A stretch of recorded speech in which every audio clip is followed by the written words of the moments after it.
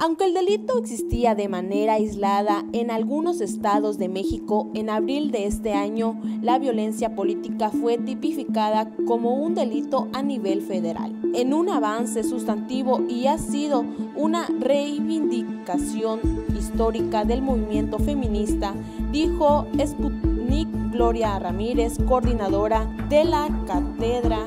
UNESCO de Derechos Humanos de la Universidad Nacional Autónoma de México. El propósito de la misma es ampliar la perspectiva para reconocer que no solo las mujeres vinculadas a los partidos políticos sufren de violencia política, sino también las mujeres defensoras de derechos humanos y las lideresas comunitarias del país, según el registro independiente que lleva en el país la Red Nacional de Defensoras de Derechos Humanos en México